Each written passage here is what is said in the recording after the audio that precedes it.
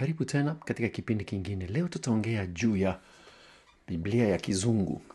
Uh, ni hoja ambayo nimeona wakati ninasoma comment section, si za, za kwangu sana, lakini katika sehemu nyingine imeangalia video ya watu wanaofanya dawa, na pale kuna kuna comments zinazofanyika, na hasa kuna video moja ambayo kuna pasta moja nafikiri Kenya kama sikosei, yeye anatumia uh, Biblia ya King James, na hapo sasa watu wana comment, na nitasoma hizo comment halafu tutakwenda kuangalia kuhusu hiyo Biblia ya King James.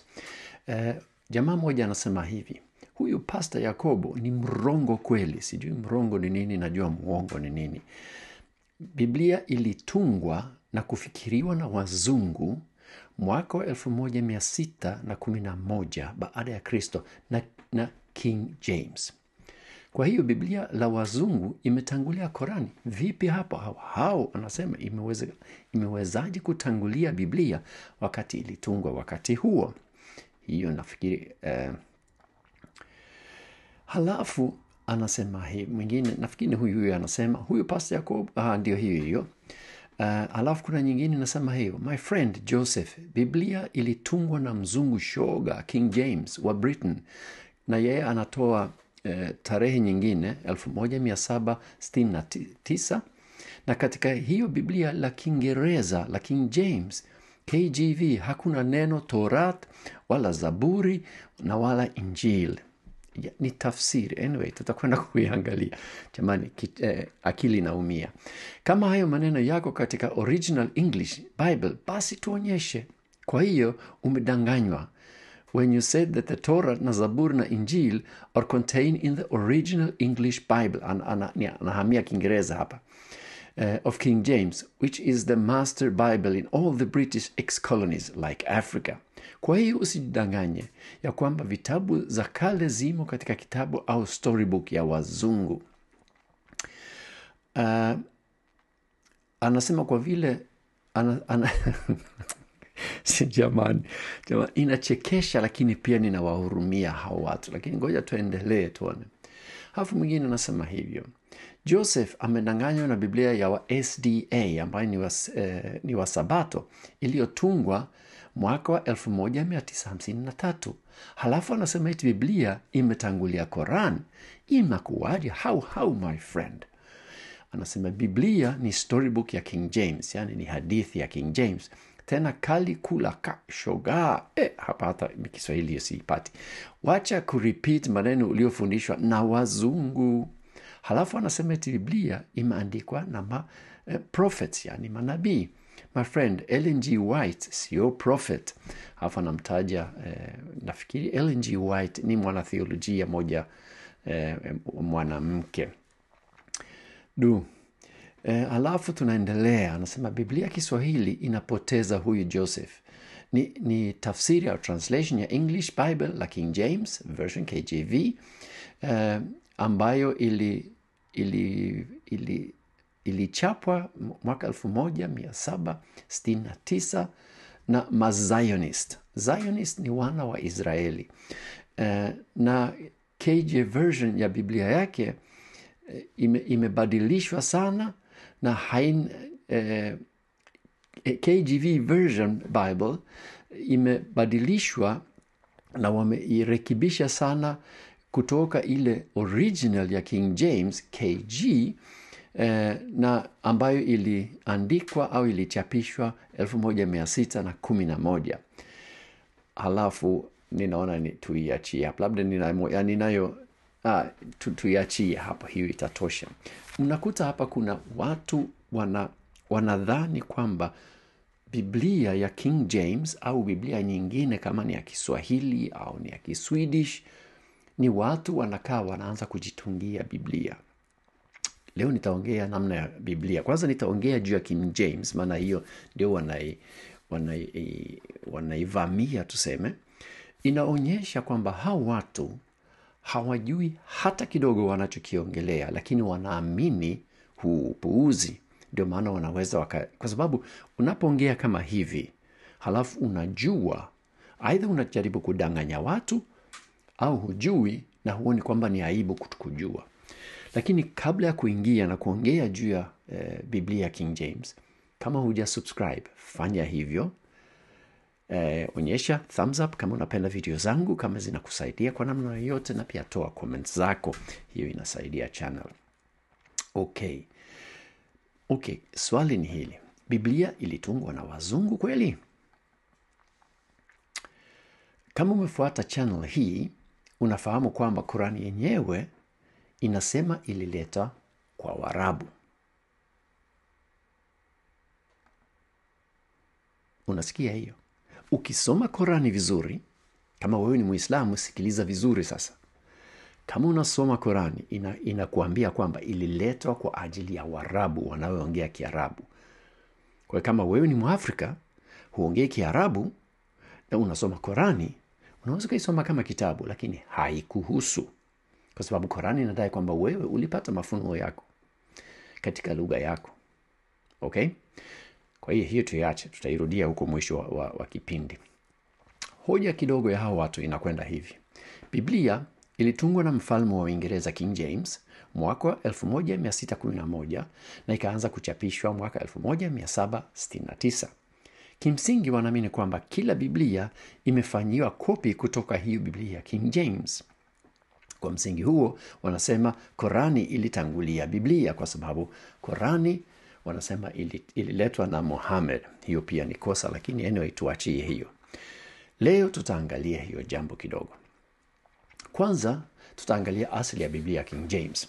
Hiyo ni muhimu ufahamu kwamba hiyo king james ilikujaje na ililetwaje kwa, wa, kwa watu wa waingereza king james alikuwa ni mfalme mfalme wa kiingereza na alitoa tenda au alitoa agizo e, biblia itafsiriwe, itafsiriwe kutoka lugha ya kilatin kuja kiingereza mwaka wa 1604 na ikatoka ikakamilika mwaka wa 1611 kwa hiyo yeye alitoa agizo biblia itafsiriwe waingereza wawe na biblia katika lugha yao kutoka ile latin ambayo wao hawakuielewa.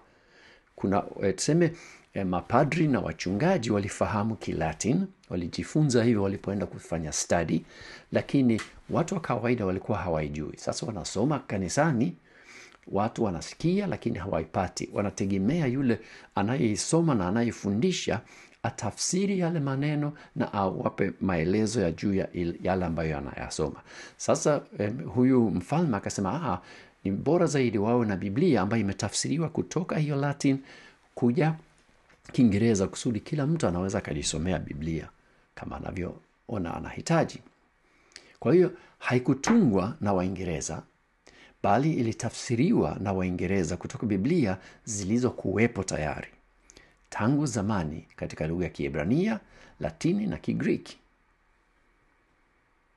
unaipata hiyo?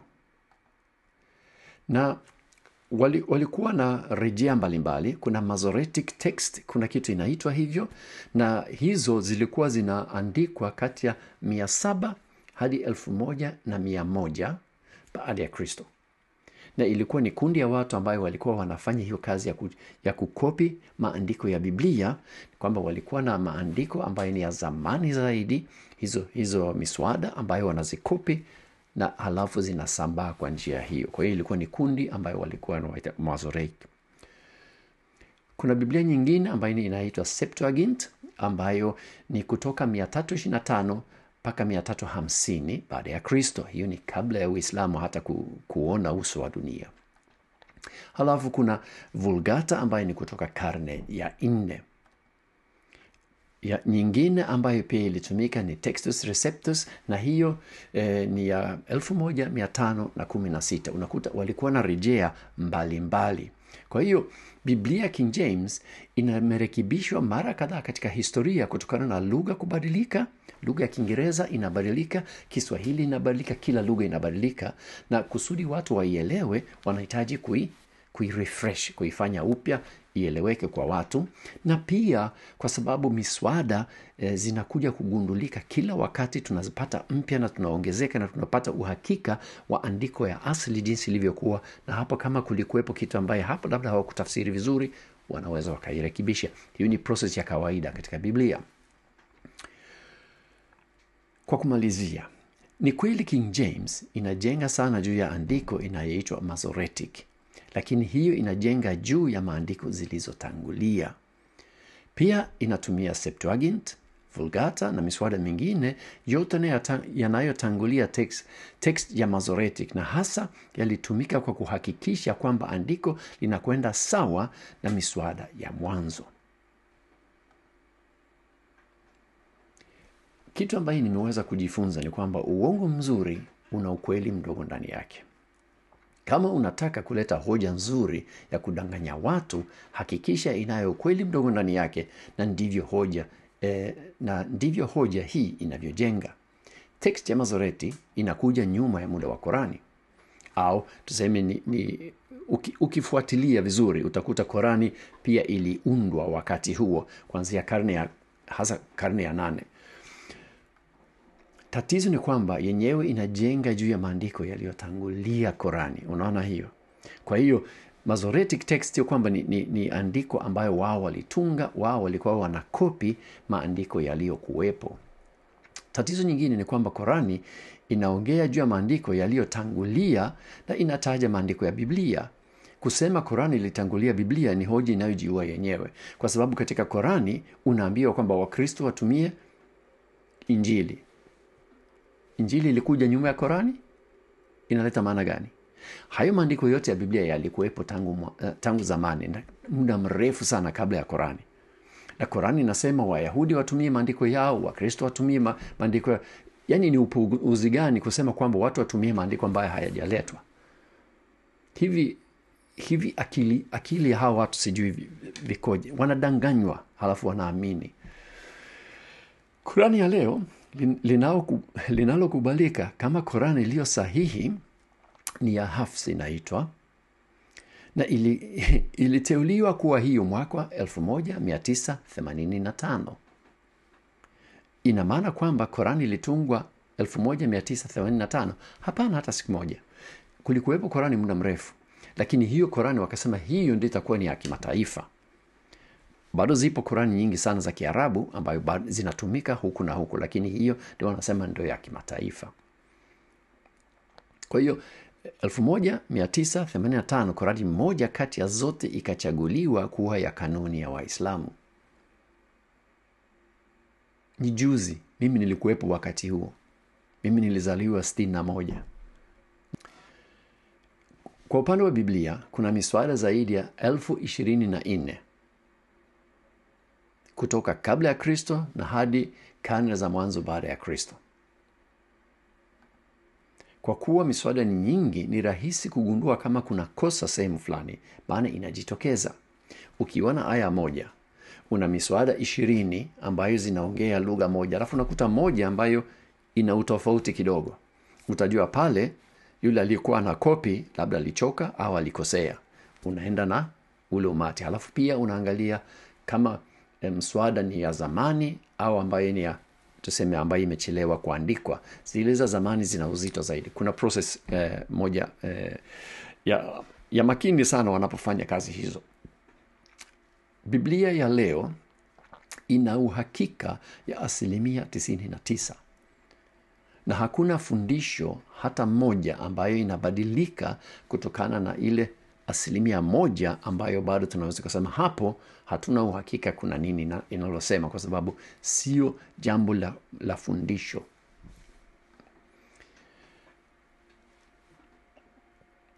Halafu kama wewe ni mwislamu na qurani yenyewe inakubali na inathibitisha kwamba biblia ni neno la mungu kwa nini unakuja kuipinga? Kwa nini unakuja kuipinga? Inaleta maana gani si aina fulani ya upuuzi lakini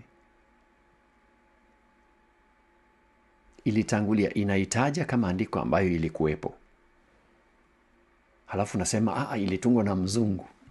Hivi jamani eh, akili inaumia kweli.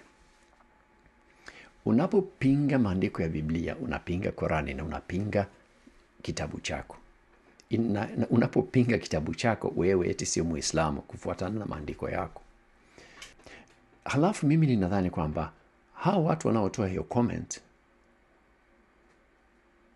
kuhusu biblia nadhani ni wa afrika kwa sababu ninaipata katika channel ambayo inaongea kiswahili na huyu mwenyewe ambayo mwenye channel anaonekana ni mwafrika. Kwa hiyo nafikiri mashabiki wake watakuwa ni waafrika. Wanakataa wanakata ku, ku, kukubali andiko yao Korani inayosema kwamba Korani ililetwa kwa Waarabu tu na kujihami nayo kwa sababu haiwahusu. Halafu wanasema Biblia ilileta kwa wazungu. Korani haisemi hivi, Biblia haisemi hivi, hakuna anayesema hivi isipokuwa watu ambayo hawajui, wasio na elimu ambayo hawajui na ambayo wanajiletea aibu tu. Katika somo hili nimedokeza, nime- nimegusisha tu juu ya hiyo topic ya udanganyifu unaofanya na nadhani ni Waislamu tuseme hao watu wanaofanya dawa, dawa wanakuja kuwadanganya watu wao. Nafikiri ni hivyo, kwa sababu huwezi ukagundua upuuzi wa jinsi hii bila kuambiwa na mtu ambaye unamwamini. Alafu ninyi Waislamu, kwa nini msiendi kusoma vitabu vyenu? Soma Korani, soma Korani ujifunze, na utajua kwamba haikuhusu. Hiyo ni jambo la kwanza. Utakuta kwamba inasema kwamba Biblia ni neno la Mungu, inasema kwamba neno la Mungu aliwezi likabadilishwa. Kwa hiyo Biblia haijabadilika, haiwezekani maana yake. Jamani, kipindi hiki ni, ni, ni, muda mrefu nilitaka niifanye, lakini leo ndio nimepata muda wa kuifanya. Kama umefika mpaka mwisho, ni, ni tegemeo yangu kwamba umejifunza kitu. Kila Biblia ambayo inaandikwa leo inaandikwa au nisiseme kila Biblia, lakini Biblia karibu zote za maana zinajenga juu ya miswada ya zamani. Wanakwenda wanaangalia kigriki wanaenda wanaangalia Kilatin, wanaangalia miswada ya zamani, halafu wana, wana e, tafsiri kutoka hizo lugha na kuzileta katika lugha ile wanayoitaka. Ndiyo, kuna kuna tafsiri zinazotoka katika Biblia inayoaminika labda ya Kiingereza au lugha nyingine, na wanailetea katika lugha nyingine. Hiyo pia inafanyika, lakini mara nyingi wanarudi katika lugha ile ya asli kwa kuangalia jinsi ilivyoandikwa. Na kama nilivyosema, asilimia 99 ya Biblia tuna uhakika wa asilimia moja kwamba liko sawa. Hofu na mashaka juu ya Qurani, maana pale bado tunajaribu kujifunza nani aliitunga, lini ilitungwa na ilikuja kujaje kuletwa. Kitu cha uhakika ni kwamba haikuletwa na, na, na, na malaika kwa mtu ambaye aliitwa Muhammad. Hiyo nina uhakika nayo. Kama umefika mpaka mwisho ya video yangu hii, ninashukuru. Mungu akubariki, na bila shaka tutazidi kuonana katika video zingine. Asanteni.